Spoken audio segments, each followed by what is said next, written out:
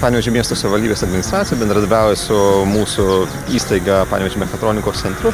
Ir šį savaitgalį planuojam pasitelkti šias technologijas, tai yra dronus, kad galėtumėm stebėti aplinką, galėtumėm stebėti, kaip žmonės elgesi parkuose.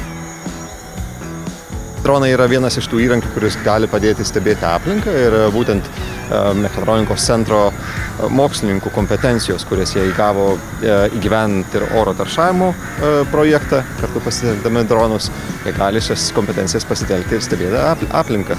Tai būtent šis įrankis leis jiems užfiksuoti žydinių vietas, užfiksuoti žmonės, kurie yra tam tikrose vietose susirinkę didesnėse grupėse ir operatyviai, tie savanoriai, tie dronų valdytojai galės paskambinti, perduoti informaciją viešosios tvarkos specialistams.